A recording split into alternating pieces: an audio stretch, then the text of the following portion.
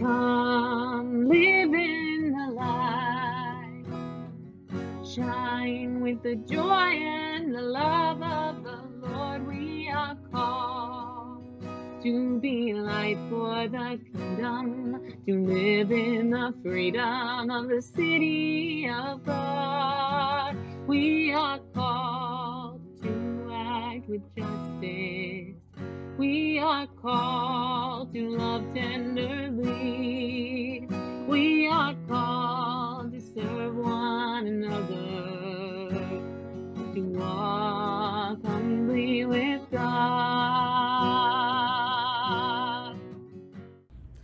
Welcome to worship with us at Fair Oaks United Methodist Church.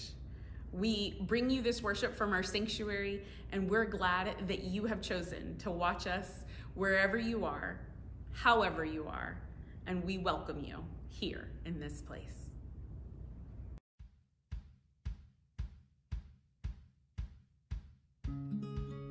We extend a special welcome to those who are single, married, divorced, poly, gay, trans, queer, straight, cis, filthy rich, dirt poor, live in a mansion, or are sleeping outside right now. Yo no habla inglés. We welcome you if your family has been here since the Mayflower or you just got here last week without papers. We extend a special welcome to those who have just rolled out of bed and are watching in their pajamas. Or have worn your Sunday best. And especially those who got lost on social media and wound up here by mistake. We welcome those who are in recovery or are still addicted. You are welcome here if you help protect and serve or just got out of jail. We don't care if you're more religious than the Pope or just starting out on your religious journey. You are welcome here if you believe following Jesus is only one of many paths to spiritual enlightenment. We welcome those who think the earth is flat, those who can't spell, and those with multiple degrees. We offer a special welcome to those who have been harmed by organized religion, and those who had religion shoved down their throats as a kid, and those who could especially use a prayer right now. We welcome everyone, every day, every day. with open, open hearts, hearts, open minds, and open doors. Good morning. Welcome to worship at Fair Oaks United Methodist Church. I'm Julie Strathdee, and I'll be leading you in music ministry today. Please join me.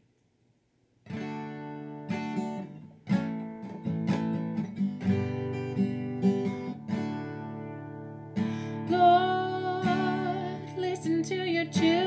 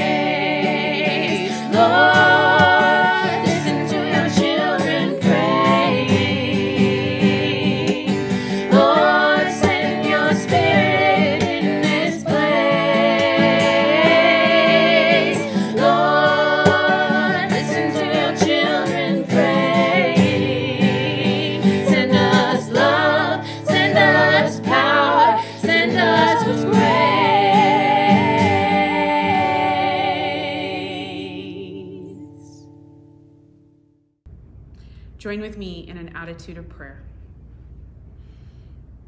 Gracious God, I want to give thanks for the ways in which you have been with us and our mistakes, our missteps, our worry, our regret, for the ways in which you remind us that regardless of it all, we are loved and we are yours. We lift up those who are struggling with health issues at this time. We hold those in prayer who are forgetful and forgetting. We lift up those who are in the midst of discernment and in denial. We always lift up our front line and our healthcare workers in the midst of this Delta variant. We remember the school teachers, administrators, and staff as the students prepare to go back to school. We ask, we pray, we beg that they are allowed to this year. We ask in this time of silent praise and thanksgiving and mourning, we lift up those situations that are on our hearts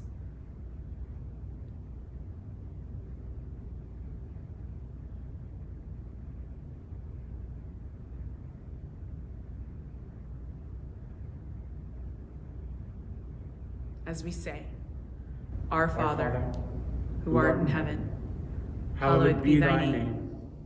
Thy kingdom come, thy will be done, on earth as it is in heaven. Give us this day our daily bread, and forgive us our trespasses, as we forgive those who trespass against us. And lead us not into temptation, but deliver us from evil. For thine is the kingdom, and the power, and the glory forever. Amen. Hello, I'm Fraser. And I'm Miss Dedra. We are going to have a back to school supply drive on Saturday, August 14th here at the church. And so we wanted to learn some signs for school supplies. We thought this was the perfect opportunity. Yes, uh, so last week um, I said that some of the signs and sign language were um, like obvious once you understand the rationale. Um, and this does everything to prove that. so the first sign is scissors. The sign is like so, just like you're using scissors. Or playing rock, paper, scissors. yeah. yeah, so like that. The second sign is a ruler, like a measuring stick. So that one was a bit hard to find, but from what I could see, um, what you do is you make R's with both of your hands, like right here. There, yeah, where you cross them like this and then you put them together like this. This is similar to measuring, which is like so. So mm-hmm. I think it's like that. Mm-hmm. And then you use the R for it to be ruler. Yes. Yeah. Okay. And then the next sign is pencil. Um, I don't believe there's a specific sign for pen, but I could be wrong. Um, so pencil uh, is uh, where you have one hand like this, palm facing towards you. You have another one, your index finger, like it's um, around here, it's above your palm, and then you and you put there and you scribble. So you just pretend to write on your hand. This is another one that's super obvious. Yeah, it's similar to write, except with write, it's just you scribble on your hand, whereas with uh, pencil, there's a bit of movement. Bringing it in, okay. Yeah, Got it's, it. it's like a hammer versus nail. And this is pencil versus write. Okay. Now, I also wanted to talk about eraser. And eraser is one of those signs where there's no one sign for it. Um, so I've seen where you make an X and then you go like this. I've also seen it like this where you're where uh, you make an S or an A and then you rub it like so. And I've also seen it where you make a fist, like you're erasing with the end of a pencil. Ah, okay. Um, but they all mean the same thing. Mm-hmm. Uh, and then there's backpack. Backpack is uh, pretty simple, just like so. Like you're putting your backpack on and kind of hoisting it up? Yeah, like you're hoisting up your backpack. Okay. And then pencil sharpener, I believe, mm, I believe most of you would have had experience with the uh, manual mechanical pencil sharpeners. Uh, but if you haven't, then this may be a bit odd to you. But uh, so what you have is you have your index finger like this, and then you have your other hand, and you pretend you're pulling around a, uh, a lever or a lever. Mm-hmm. And uh, that's how uh, old pencil sharpeners used to work. Yeah, they were mounted on the wall and you cranked them around. There was a crank that you turned. Yeah. Yeah, I remember these. Yeah. Now, that is it for the school supplies for now. So, what do we want you to remember? Always and always and always? You are loved.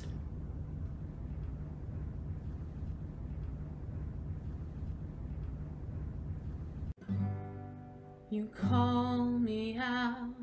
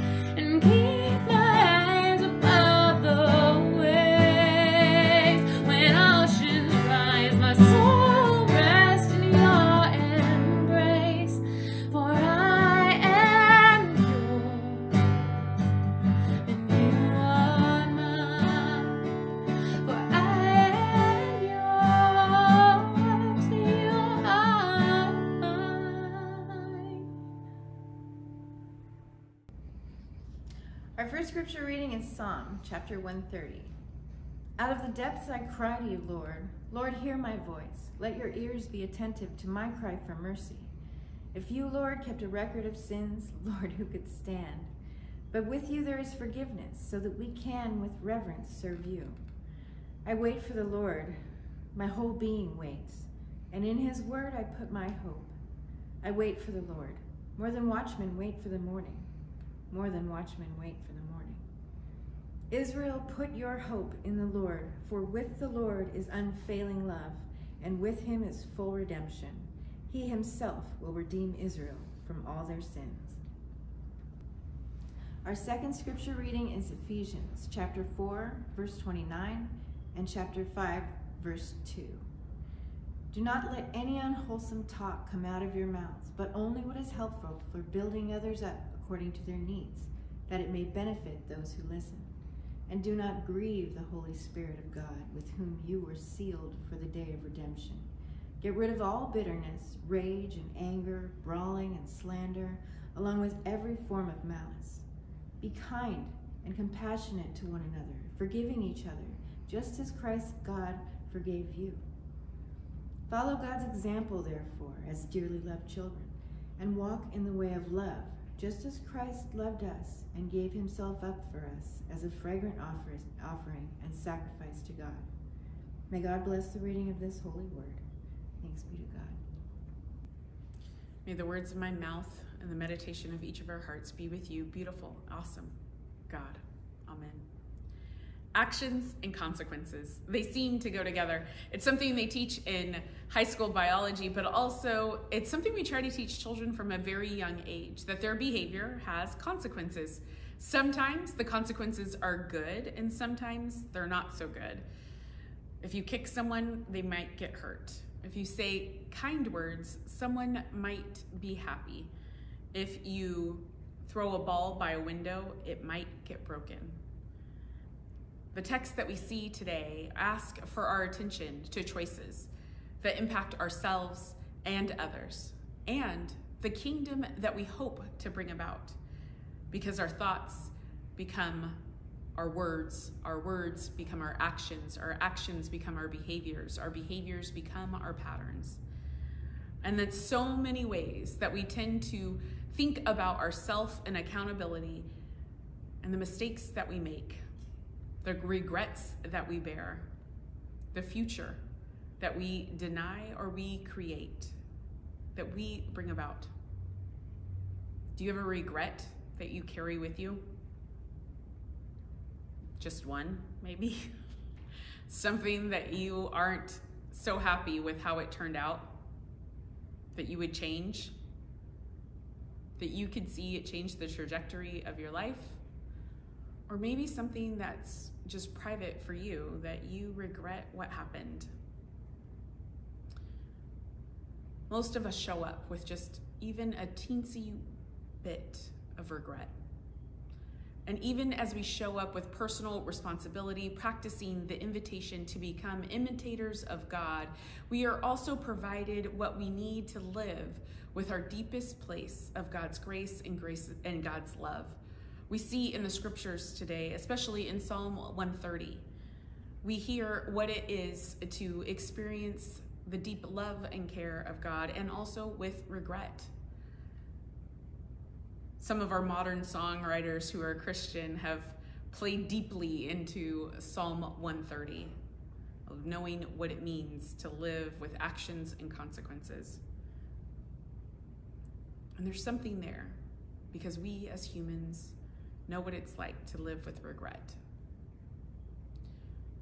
But also, we as Christians often can get it wrong when we think it's our job to take someone else's inventory of what their regret should be, could be, what our regret is for them. Your regret for me may be different than my personal regret and vice versa. What I hold dear in my heart may be different than what you hold dear in yours. That conversation is between me and God and God alone. And the same is true for you. The conversations that we have with one another the conversations that we hold with one another, the sacred space and the sacred circle that we hold with one another shouldn't be about regret, but they should be about God's abundance and God's grace.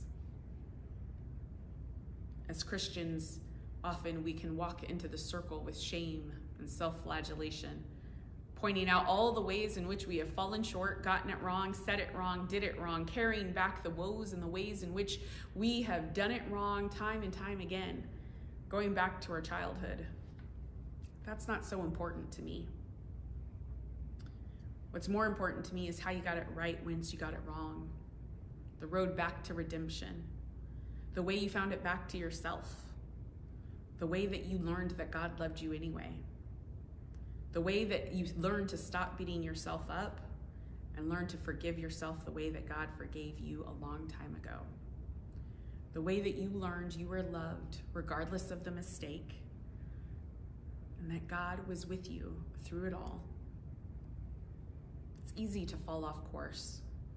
We live in a society in which there's lots to be tempted, frustrated, angered, or even just bored by. So the question is not how did you do it? How did you fall off track? The question is what is in the deep center part of you that was attracted to it in the first place? And how have you healed, moved on, and seen God in the midst of all that is holy, all that is divine, and found the quiet center of God's love, God's peace, and God's joy? Amen.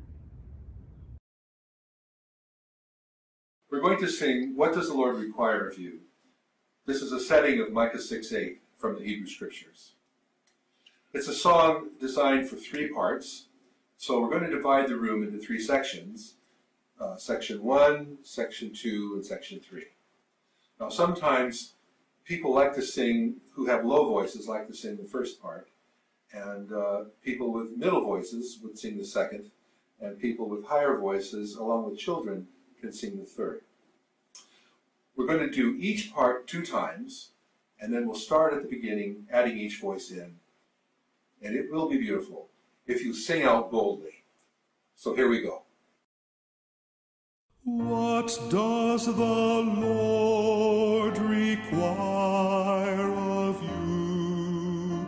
What does the Lord require of you? What does the Lord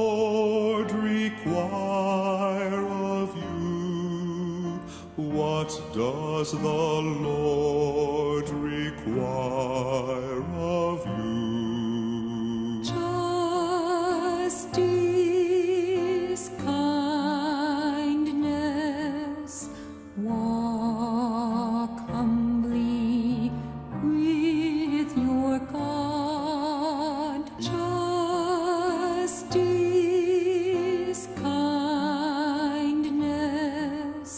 我。